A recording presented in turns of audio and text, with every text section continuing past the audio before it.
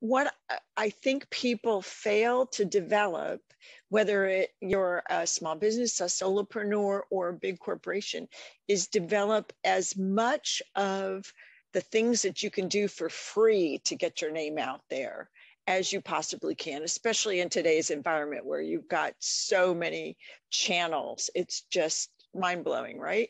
But people neglected that. And that's one of the reasons i wrote the book was to be able to say to the solopreneur okay you can start and you can do a lot of things for free before you spend your first dollar on advertising. And then if you're going to spend your start spending money on advertising here's how to ramp that up so that all the time that you're doing it, you're continuing to meet your ROI goals before you go on to the next stage. You're doing each one well before you go on to the next one.